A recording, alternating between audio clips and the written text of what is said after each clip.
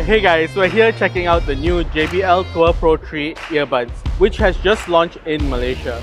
Now, if you remember, the JBL Tour Pro 2 comes with a screen in front where you can get extensive controls of the earbuds themselves.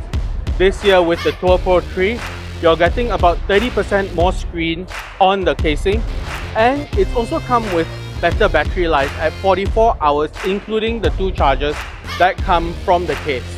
And on top of that, the earbuds are actually a little bit more chunky for good reason. They've got two more mics, so six mics in total for both ANC and also picking up your voice when you're using it in hands-free mode. What's more, you've also got a new transmission mode where you'll be able to use the USB-C port to transmit audio wirelessly from devices like your in-flight entertainment systems straight to the earbuds.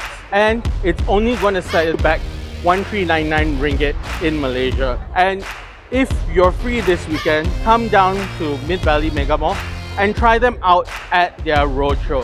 Now stay tuned for more from techENT.